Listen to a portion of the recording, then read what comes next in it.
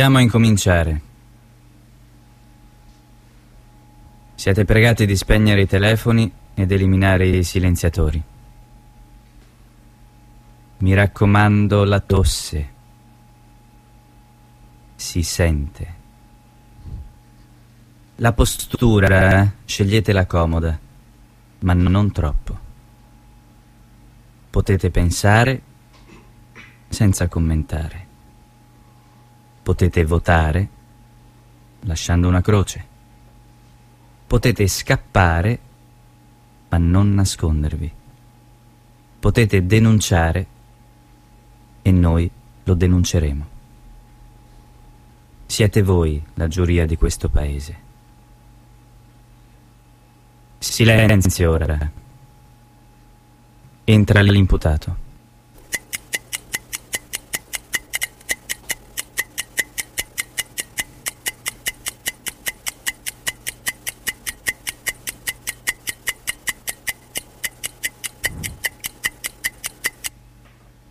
Cosa sta facendo?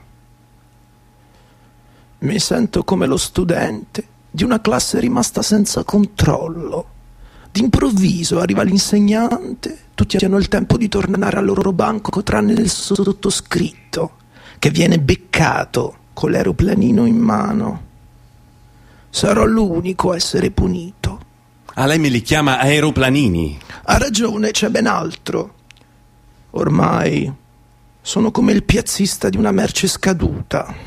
C'è certa politica, assomiglia ai pannolini, va cambiata spesso e per gli stessi motivi, e poi nel suo bel gessato sembra sempre pronta alla sepoltura. Ma mi faccia pensare. La vergogna del mio stato attuale conseguente al repentino modificarsi della situazione generale del paese e la ragione di fondo di questa mia decisione. Gli scandali. Quando ci sono è bene che vengano a galla, tutti insieme, si faccia luce e si accertino i fatti. Chi c'è alle sue spalle? Più nessuno ormai. Sopra di me soltanto il buon Dio. Me l'aspettavo. È il caso che si sappia che è finita l'acqua minerale. Come? Niente più fiuggi, neanche un goccettino di levissima. D'accordo. Allora mi scriva lei, come un foglio di carta bianco, sa, tutte le mattine io parlo con le voci della mia coscienza ed è un dialogo inquietante. Guardo il paese, leggo i giornali e penso, ecco qua che tutto si realizza poco a poco. Lo sa che i fatti possono essere alterati quando si racconta una storia, sindrome della gazzaladra la chiamano, ossia prendere quello che luccica e scartare tutto il resto, anche se ormai questa mia storia è come una finestra dipinta su un muro. Nessuno di voi ci si può affacciare. Ci parli di lei, senza divagare troppo.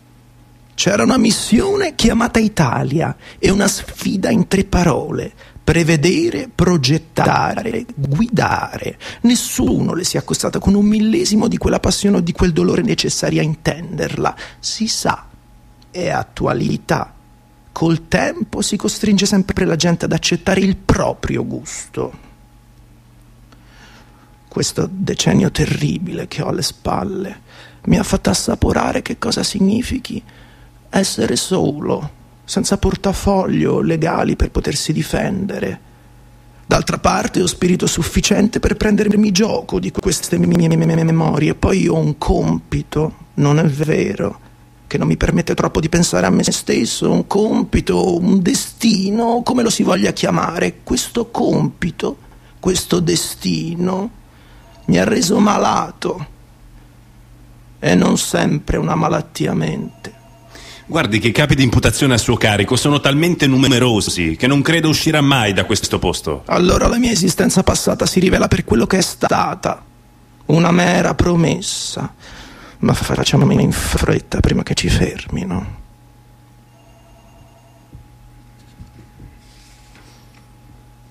Per tutta la vita. Io ho visto uomini stretti di spalle compiere senza alcuna eccezione atti stupidi e numerosi testimone oculare di quegli spettacoli, ho dovuto ridere come gli altri, anche se sotto la scrivania, con una matita Stadler a punta fine, io mi incidevo un garofano sotto la prima carne del palmo della mano, così. In pausa da pranzo infilavo l'uscio per studiarmi allo specchio del bagno e constatare che il mio riso non assomigliava affatto a quello degli altri impiegati. Io non ridevo. Vuole parlarci del suo presidente? Che vuole che le dica? Era un patriarca, sì. Un patriarca che raccoglieva meticolosamente ricordi e persone. Lo sa come sono fatti gli uomini di carattere. Hanno sempre un cattivo carattere. È stato lei a tradirlo? È stata la democrazia. Tu sei uno dei mille che non ha tradito, mi scrisse una volta. Sembrava incrollabile e eterno, ma il ciclo del potere è inesorabile, prima o poi termina per tutti. Voltargli le spalle fu per me un destino, ma andiamo con ordine. Sembrava un uomo che non avesse avuto infanzia, un animale con una passione, la politica, prima dominante poi esclusiva, come ci spiega bene una certa metafora del Bismarck. Le passioni sono come le trote nello stagno, l'una divora l'altra finché non rimane una grossa trota.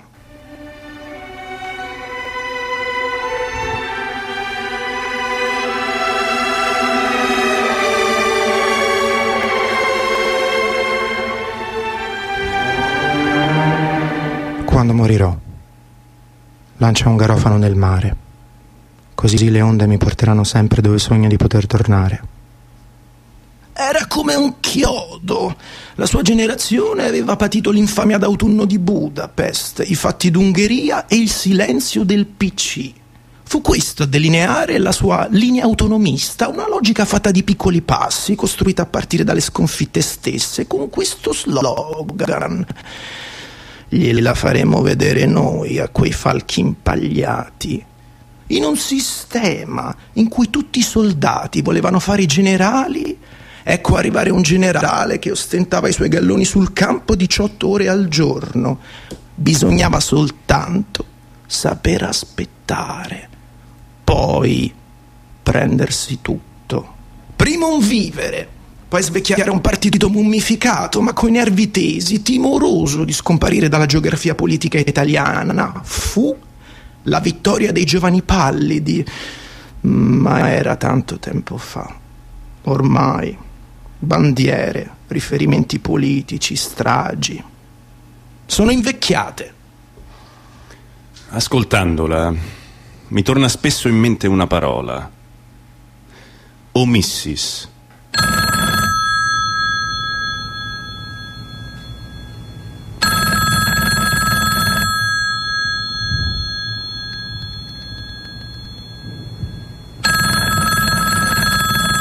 Ah, il mio non è di certo.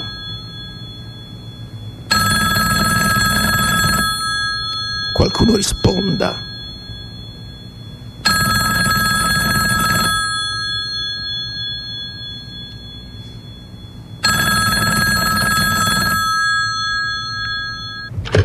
Carte, palazzi, persone scompaiono, ostacolando la messa in luce della verità.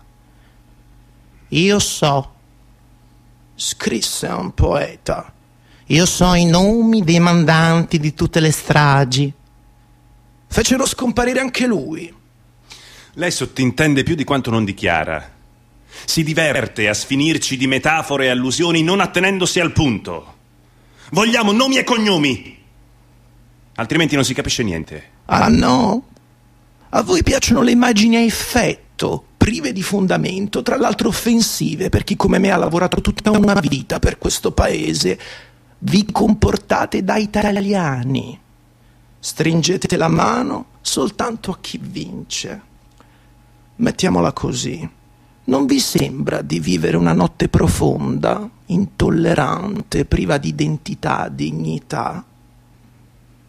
D'accordo. Non era certo migliore l'Italia trent'anni fa. Se non altro, era più coraggiosa. Faccio finta di non averla sentita. Ha mai avuto a che spartire con quei due monelli? Di questo parliamone in corridoio. Mentre 3.500 italiani al giorno riposano sonni tranquilli sui materassi a molla Permaflex, il suo direttore generale, diciamo l'ingegner Luciani, iniziato muratore nel 1961, ossia massone, eredita un circoletto riservato e indebolito, il Luciani. Lo riplasma come contenitore di privilegiati, un'oasi di pace e tranquillità per i migliori, secondo alcuni, un'armata invisibile anticomunista, secondo altri, con un piedilista impressionante, un cocktail di forze armate magistrati, politici imprenditori, a partire dal capo dei nostri servizi. Che opinione ha lei dei servizi? Non mi posso lamentare, funzionano finché restano segreti. Ma mi faccia finire. Dicevo, questa, questo circoletto, ma sì, perché no, questa lobby di rangers della giungla ufficiale, domiciliata in via Condotti, in un appartamento di proprietà delle gioielliere bulgari, è conosciuta come Centro Italiani di Studi Storici si specializza in relazioni tecniche e consulenze redatte con doppia nomenclatura, modo statale e modo privato. Relazioni queste per quelle scrivenia che contano, ma facciamo degli esempi. Schema R, come risanamento, un documento finito nelle mani di un presidente della Repubblica, lo stesso presidente costretto a dimettersi per lo scandalo delle bustarelle Lockheed, ossia 3 miliarducci americani per convincerci a acquistare aerei da trasporto Hercules. E dulcis in fondo, piano RD, come rinascita democratica. Una revisione in chiave presidenziale della nostra Costituzione in 54 articoli le leggo un originale del 1975. Premessa. L'aggettivo democratico sta a significare che è escluso dal presente piano qualsiasi movente, anche occulto, di rovesciamento del sistema. E finirà qui. Punto primo. Il controllo della stampa e dei partiti attraverso uomini di natura rotariana sollecitati finanziariamente. Mm. Punto secondo. Usare la finanza per l'immediata nascita di due movimenti, uno sulla sinistra, uno sulla destra. Già sentito. Punto terzo. Sollecitare all'immediata rottura i sindacati. Aia. Punto quarto. Dissolvere la RAI TV in nome della libertà d'antenna.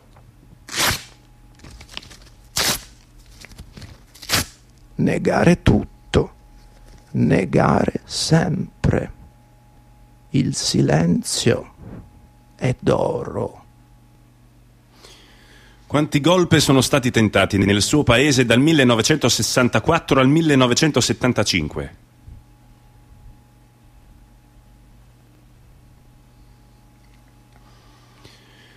Diciamo cinque, non ugualmente pericolosi. Il rischio di un golpe era nell'aria. Nel Mediterraneo l'Italia era circondata. Salazar in Portogallo, Franco in Spagna, i colonnelli in Grecia. Indi ne parlavano tutti, così come del pericolo comunista, annunciato dal movimento studentesco e dall'autunno caldo operaio.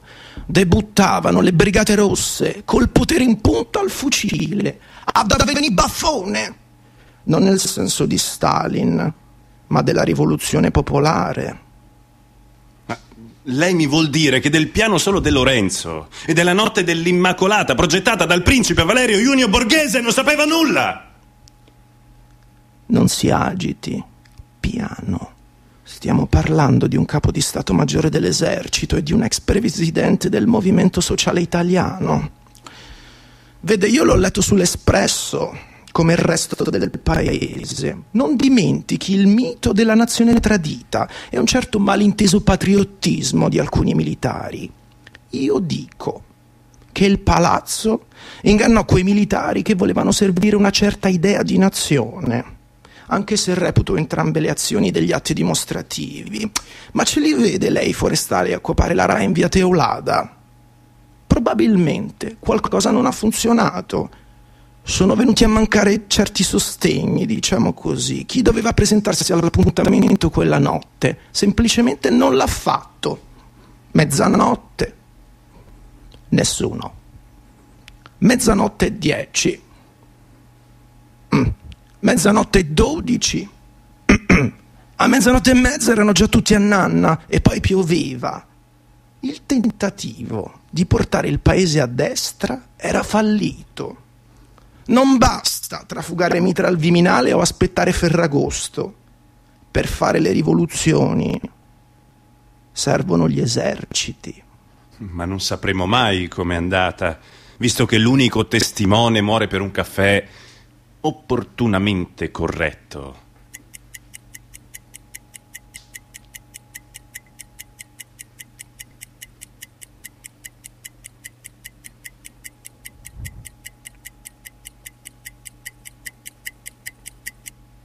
È proprio vero.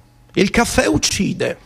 Così l'Italia sotterranea inizia a pianificare la cosiddetta strategia della tensione. Di matrice statale atlantica. Un filo nero lungo due piazze, Fontana e delle Logge. Destabilizzare ai fini di stabilizzare per impedire l'approdo all'esecutivo del Partito Comunista.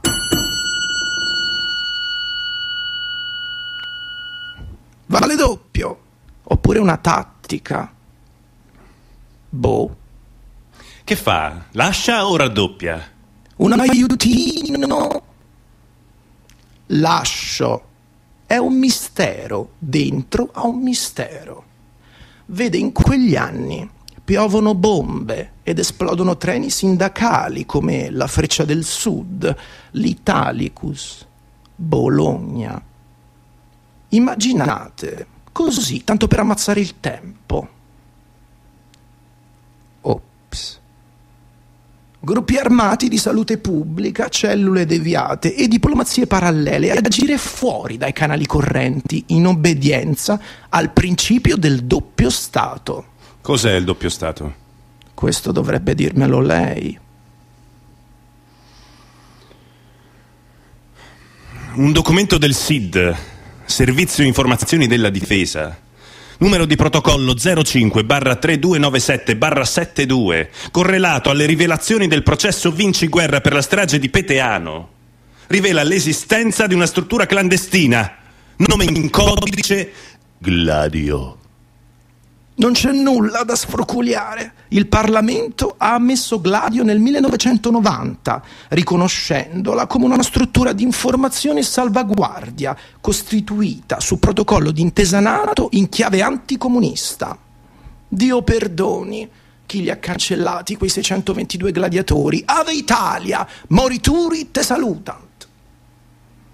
Diciamocela tutta. Il 68 Bisognava tamponarlo, così come le derive antidemocratiche. Venne indetta una crociata solitaria, elitaria. Ci sono paesi in cui ogni volta che muore qualcuno scompare una parola dal vocabolario. Se applicassimo questo principio al mio paese, non so proprio quali parole resterebbero. La parola trasparenza per esempio. Se io muoio, non potrete usarla più. Allora i governi si mantenevano tutti sulla stessa linea, duravano poco. Non si fidi dei giornali e della TV e poi con un PC al 34%. L'Italia rischiava di diventare una roccaforte del marxismo. Serviva una rete di giornali per contrastarla. Si riferisce alla scalata del gruppo Rizzoli al Corriere. L'avventura della Rizzoli è nota. Alla morte del patriarca, figli e nipoti cercano il gioco grosso. ossia acquisire il prestigioso foglio della borghesia produttiva del Nord, il Corriere. Ma non dispongono dell'enorme massa di denaro necessario. È qui che entra in scena il maggiore istituto di credito privato italiano, il Banco. E il suo padrone, Meneghino, Robertino. Nell'affare ce lo tira per i capelli, a dir la verità, ancora lui, diciamo l'ingegner Luciani uomo di contatto con le banche. La stessa persona che in una lunga intervista al Corriere è commissionata a un suo affiliato, fra immagini di Cagliostro e Garibaldi, s'atteggerà a tutore segreto e un po' mafioso del Corriere. È il Vangelo della domenica.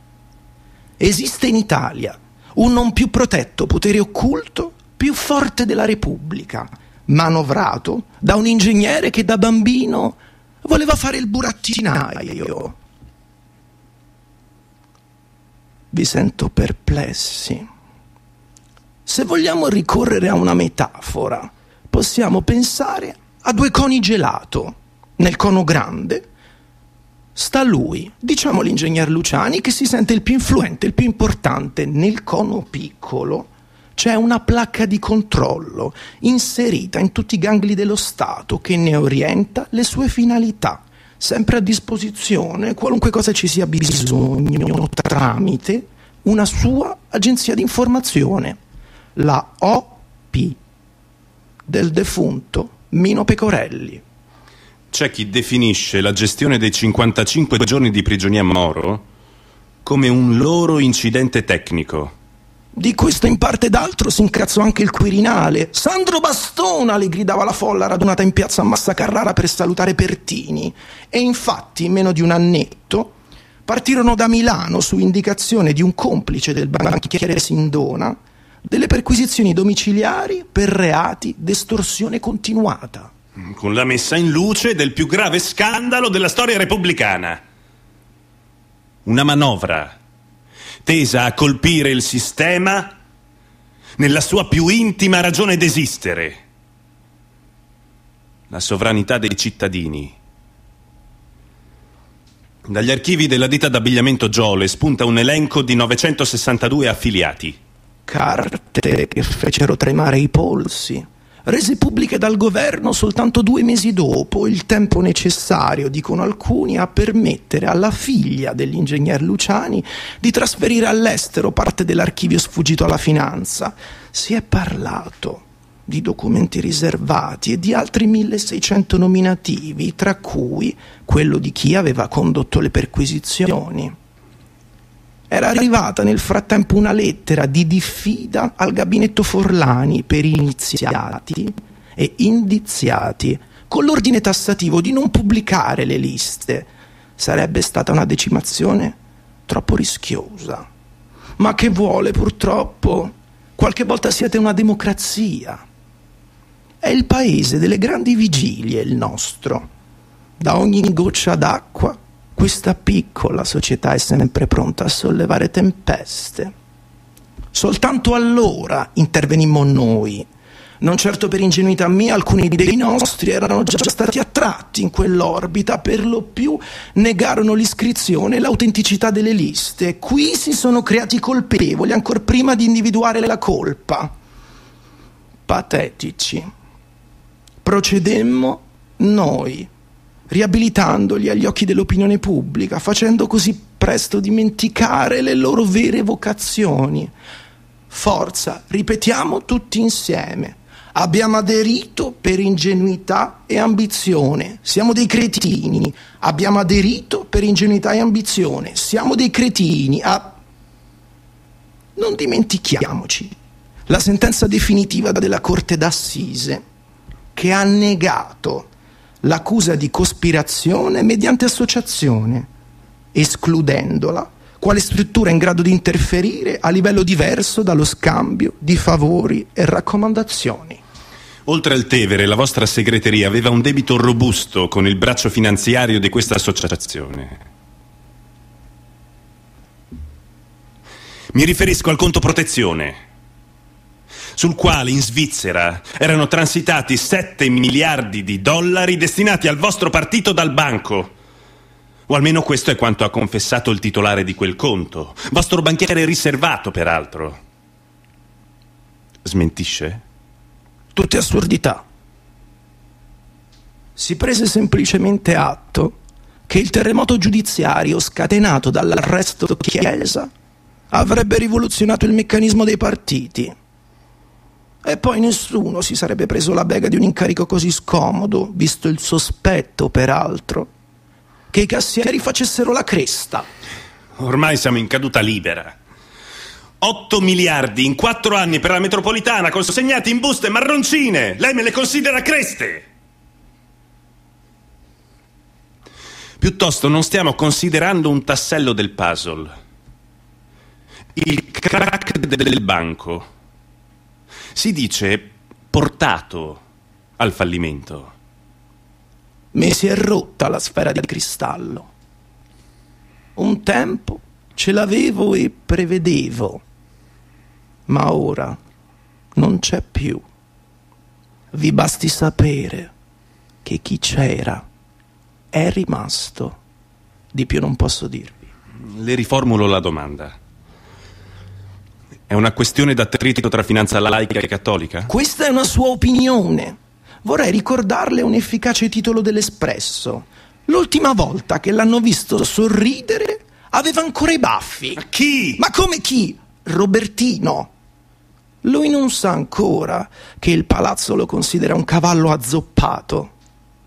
Eliminarlo è indispensabile per proteggere alcuni interessi all'estero. Si riferisce all'America Latina o al finanziamento di Solidarnosc? Mi riferisco a un buco di 1900 miliardi e la pretesa da parte della Banca d'Italia di un immediato risanamento. Troppo pericoloso motivarle quelle cifre. Robertino va messo da parte. Puff. Sparisce Robertino. Una forma di sequestro pilotato, diranno. Di lui resteranno un paio di mutande bianche.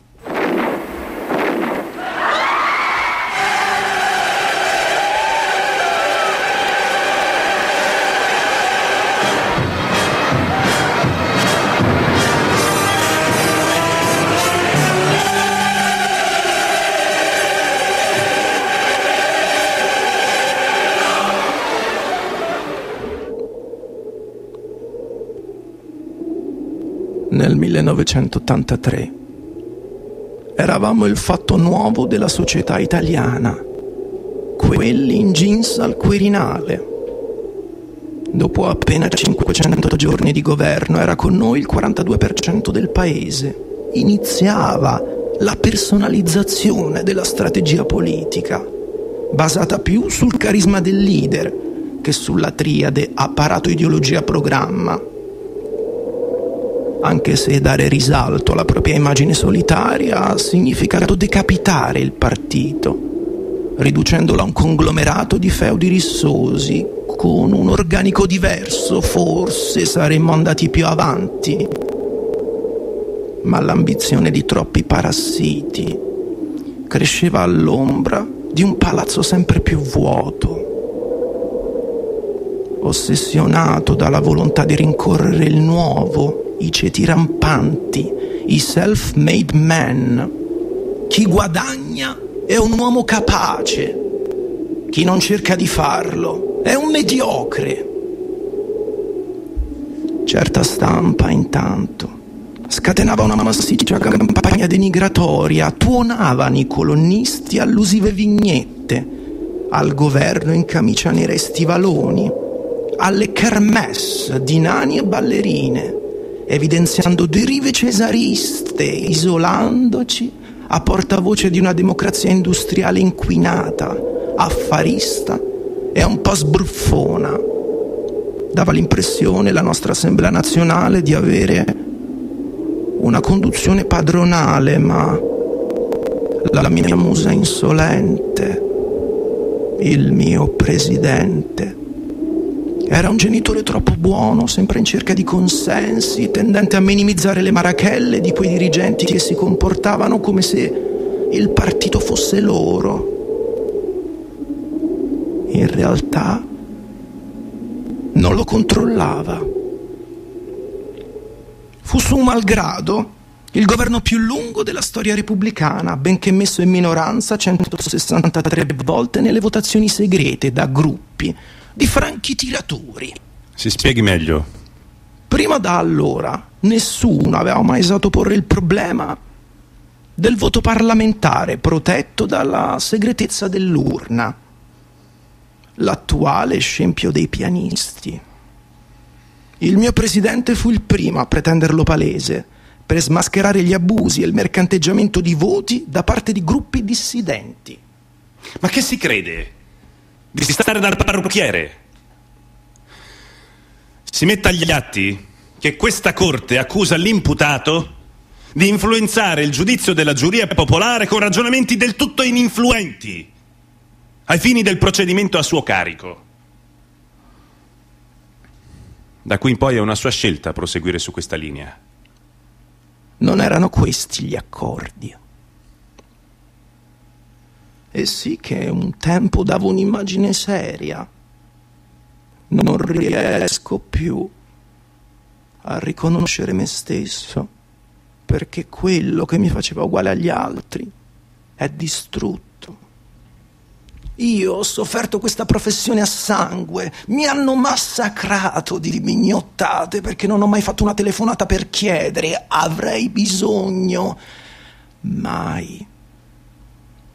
Vero è che nessuno ha il dominio della verità e delle giuste opinioni in un paese in cui parlare di raccomandazioni equivale a parlare di latte e caffè.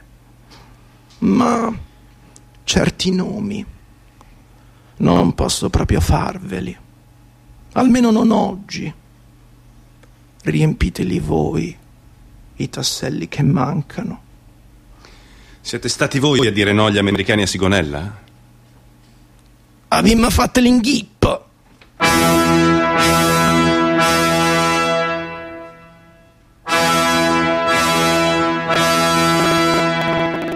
Sigonella fu il punto di più alta popolarità del mio presidente. A lui la questione morale non interessava, era un uomo di potere, attento anche a quelli abusivi. D'altra parte, era l'imprenditoria a fare da talent scout alla politica. Come spiegarvi? In quegli anni iniziava a prevalere una visione mercantilistica della vita. Approvato neanche in un giorno il decreto di interconnessione liberalizzava il panorama audiovisivo italiano. Ciao, ciao. Bim, boom, bam. Intanto alcuni nostri colonnelli si impegnavano a rastrellare aggressivamente consensi da qualunque parte, a qualunque costo, mogugnando dissensi e voglia di cambiamento al vertice, politica movimentista. La chiamavano. In realtà il partito iniziava a dividersi e autoimplodere. D'altra parte dovevate misurarvi con le nuove ambizioni del potere economico, il cosiddetto quarto partito. Le grandi imprese erano insofferenti nei confronti del potere politico e della cosiddetta lentocrazia. Il 1987, per esempio, era stato un anno record per Fiat e Montedison, ma anche l'anno nero dell'eroina, con più di 800 vittime. Il nostro debito pubblico si trovava a un miliardo di miliardi. La guerra fredda e il muro di Berlino si andavano trasformando in un giacimento di souvenir. Filtrava persino l'ipotesi che si potesse cambiare nome al PC. Gli uomini però restavano sempre gli stessi. Una grande sordità accompagnava ormai la diffusa litigiosità delle forze politiche. Un numero così grande di liste non si era mai visto, neanche al Carnevale di Rio. Un collasso. Sembrava inevitabile. In conferenza stampa il mio presidente rilanciava con l'ottimismo e la nave va.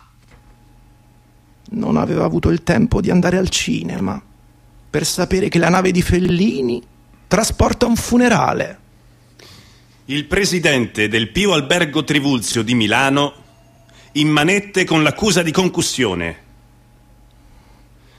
Così recita il dispaccio ANSA delle 22.16 del 17 febbraio 1992. Il caso Chiesa, il caso Chiesa. Un mariuolo che butta nel water 37 milioni non può sporcare l'immagine di un intero partito. Così rispose ai giornalisti il mio presidente, incautamente, di rimando. Fu un grave errore di valutazione non vedendosi garantita assistenza e protezione, dopo cinque settimane di carcere, l'ingegner Chiesa vuotò il sacco, coinvolgendo mezza Milano. Le catastrofiche conseguenze giudiziarie di quella ordinaria operazione di polizia le abbiamo poi viste tutti in televisione, come un lungo romanzo a puntate. Ricordate i bei tempi di una volta? I sapori perduti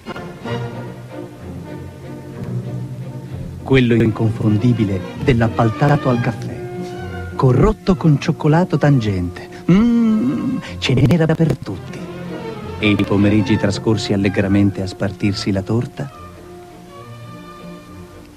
I fragranti ligresti, le frottole,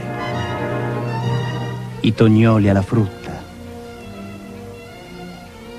il truffotto e il bobò al rum nell'elegante boboniera. Generazione dopo generazione di padre in cognato si gustavano gli approfiterol accompagnati dal tirami fuori.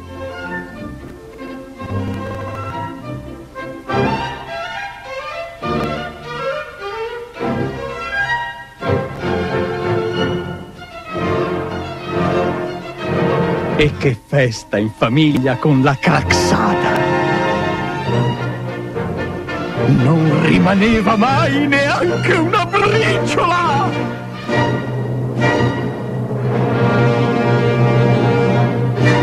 Antica segreteria del corso. Le stesse mani in pasta, dal 1892. Vorrei che lei spiegasse alla giuria uno dei modi più frequenti per truccare le gare d'appalto.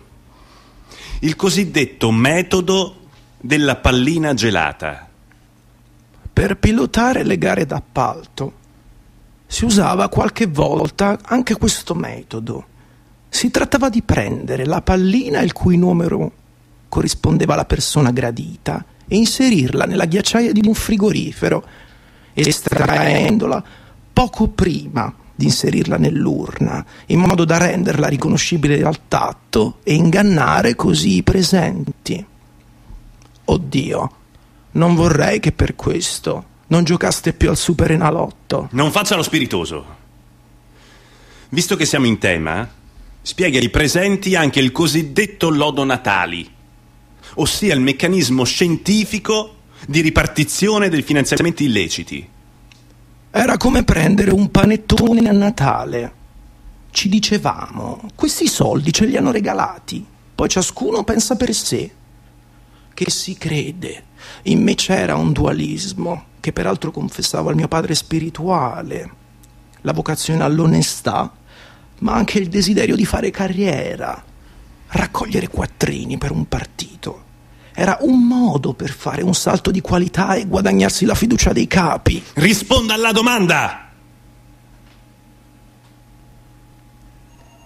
È la regola non scritta secondo cui ogni appalto della metropolitana milanese doveva generare un cospicuo finanziamento ai partiti così diviso. Il 37% a noi, il resto equamente diviso tra gli altri quattro schieramenti del pentapartito. Molto spesso non c'era neanche bisogno di un accordo preventivo, era una specie di patto di non belligeranza del tipo oggi a te, domani a me, gestito da un cassiere unico il defunto senatore Antonio Natali. L'abuso del denaro pubblico è un fatto gravissimo. Chi froda e deruba i contribuenti infrange duramente la fiducia dei cittadini. Non esiste pericolo peggiore per la democrazia che l'intreccio torbido tra politica e affari. Si risparmi il predicozzo. Non le basta avermi già sputtanato come un verme certo non meno di stampa e telegiornali. Hanno creato un clima infame come sciacalli. Hanno comunicato quotidianamente ai cittadini il bollettino di guerra degli avvisi di garanzia. Questo ha generato un imbecille tifo da stadio per la magistratura e ha fatto tintinnare troppe manette facili allo scopo di estorcere confessioni. 150 arresti ogni tre giorni nella sola Milano, col paese nel caos come la Repubblica delle Banane, grida spagnolesche e l'inchiesta allargata di contagio fino a Roma. Le informazioni in suo possesso non sono corrette. Non vi arrestiamo affinché confessiate, ma vi scarceriamo dopo che lo avete fatto. È la confessione stessa a spezzare il sodalizio criminale che si cementa tra corrotto e corruttore. Questa non l'ho capita. Quindi, niente carcere a chi confessa tutto come me. Quindi io restituisco quello di cui mi sono appropriato, vi aiuto a recuperare del denaro pubblico e sono esente dalla detenzione. È questa la vostra proposta di condono? Dico a voi. Non ritiene che in questa maniera si spinge a confessare soltanto chi non può farne a meno perché in parte già scoperto, come me? Non ci siamo capiti. Che lei parli o meno è finita. Due. Due sono le ragioni per cui mi sento costretto a continuare a parlare. Il mio senso morale è qualcosa di confuso dentro di me che soltanto parlando è possibile chiarire.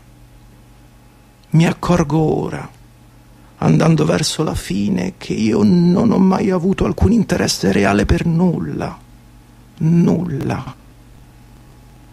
E non so capire come ho potuto vivere in un tale vuoto, eppure ci sono vissuto e se qualcosa c'era questo qualcosa inaridiva, come un giardino in cui non passa nessuno.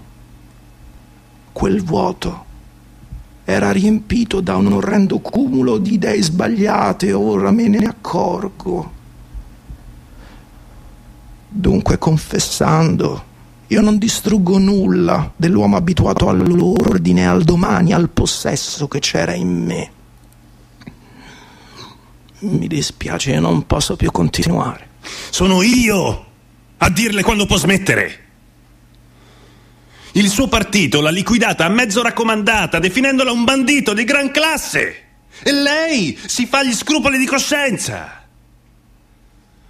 Continui, che l'argomento è bello. Ho troppi suicidi davanti agli occhi, lo capisce. E la mia ultima assemblea il 26 novembre fu una macabra corrida.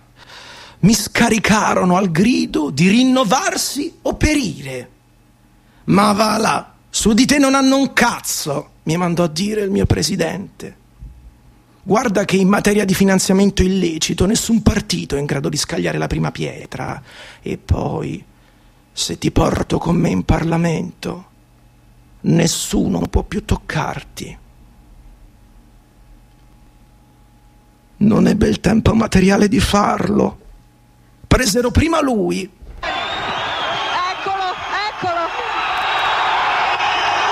Sta su- stanno tirando di tutto. Stanno tirando. Attenzione, attenzione. Attenzione. Ecco, ce ne, ce ne arrivano addosso anche a noi. Monete, tutto, tutto, lanciano tutto. È finita la pacchia. Parlamento e Senato, congiunti, hanno autorizzato la magistratura a procedere su proposta del Ministro di Grazia e Giustizia. 31 mila miliardi di perdite. 75 miliardi di buco. 450 milioni persi in borsa, ma sono dollari, non vale. 152 miliardi. Tangentone è ok per 152 miliardi.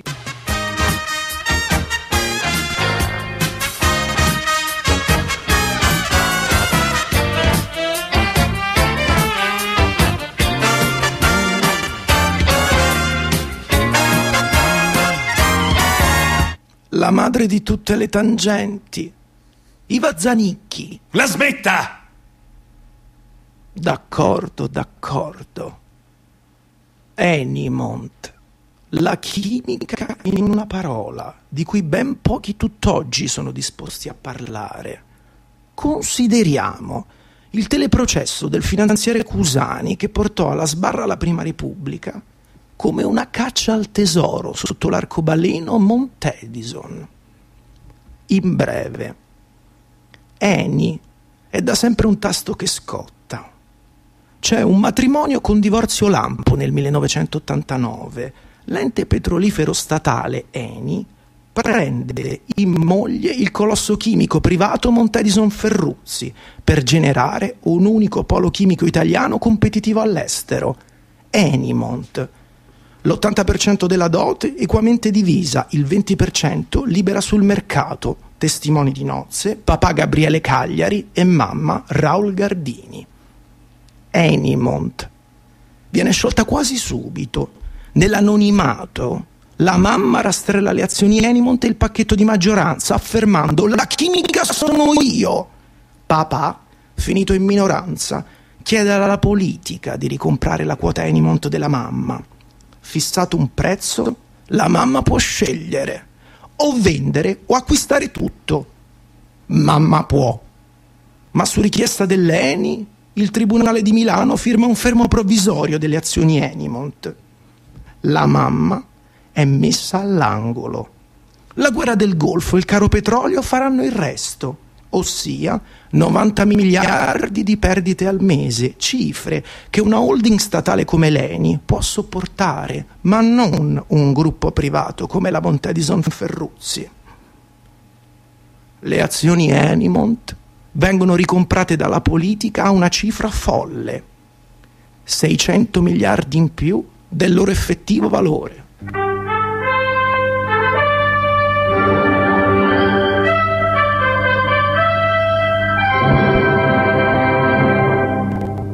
Signori, buongiorno, edizione straordinaria del nostro giornale per informarvi di un drammatico fatto avvenuto poco fa. Raul Gardini, ex presidente della Ferruzzi, si è suicidato questa mattina nella sua abitazione di Milano sparandosi un colpo di pistola. Non la spaventa tutto questo? Prima di sostenere certe tesi bisogna avere delle prove. Infatti non le ho. Resto un pesce piccolo e qui mi fermo. Ci sono fiumi di inchiostro e ore di filmati che qualunque cittadino può consultare. E quanto al suo presidente? Non ho altro da aggiungere. Ovunque egli sia, mi piace pensare che non dorma in una stanza da letto, ma nel salone, col letto, rivolto verso l'Italia, sacrificando il suo scalpo si è risolta la partita per il resto del gruppo dirigente. Lo sa, credo che anche la sua corsa termini qui. Privare la giustizia degli strumenti più efficaci di inchiesta ha fatto sì che la classe politica responsabile assolvesse se stessa. Come vede, giocare a guardie e ladri non l'ha portata lontano. Lei non può condannarmi. Ma io non voglio assolvermi.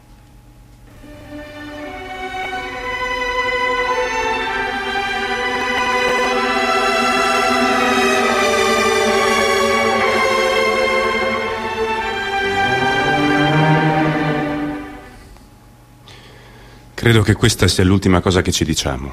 Meno male. Sa cosa mi dispiace più di tutto? No. Che la giustizia stia svanendo come una bolla di sapone nella coscienza del paese. Che del mio nome si rida alle mie spalle. Che mi senta ridotto a un fascicolo polveroso dimenticato su uno scaffale. Sto svanendo. Lo vede che sto svanendo? Nessuno deve capire che come un verme ho strisciato e mi sono contorto per sopravvivere. Nessuno deve. Signori, io non sono capace di correggere me stesso, Ma nessuno dovrà credere che si è trattato del ripiego di un impotente, di un incapace. Nessuno deve accorgersi che spesso ci si lascia vivere, degradati nell'impressione di qualcosa perduta per sempre. Basta.